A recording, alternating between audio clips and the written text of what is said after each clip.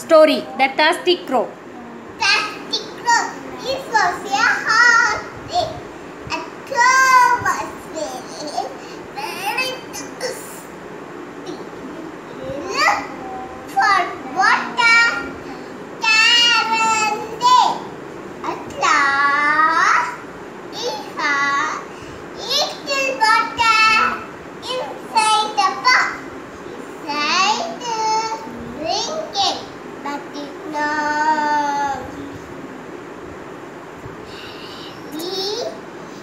Got that idea.